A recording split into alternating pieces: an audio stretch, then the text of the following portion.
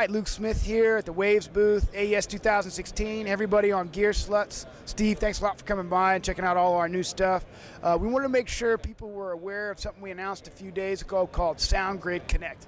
And SoundGrid Connect is a really big deal for a lot of people who want to use Waves DSP. Now, if you take a look at our desk here, you might ask yourself why on earth we have a PreSonus audio box uh, on what is also a DigiGrid station, right?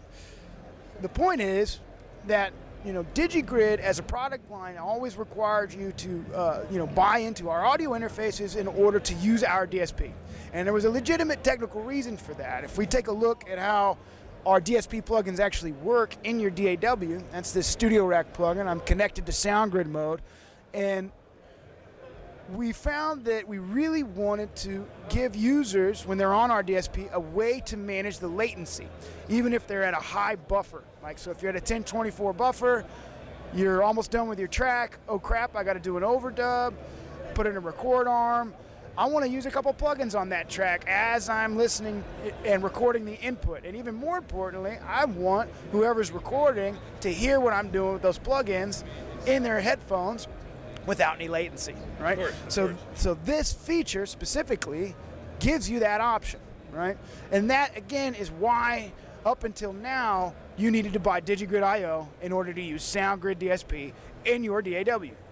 But the the beauty of this new SoundGrid Connect thing is, if you take a look at our software, I now see the PreSonus audio box as an I/O device. So I don't actually need any of our DigiGrid I/O devices at all. All I really need, if I want it, is a Wave DSP engine. And so we have these DSP engines that actually aren't part of the DigiGrid line that we've been selling to live sound guys for a very long time and are a fraction of the cost of all the DigiGrid products that have Wave SoundGrid DSP engines in them because they're not I/O boxes; they're just DSP boxes. So we have an Intel i3 based uh, Impact server, it's called, which is an Ethernet port on the back of it for about 800 bucks, and you get a ton of power out of even that one, and that's our entry level server.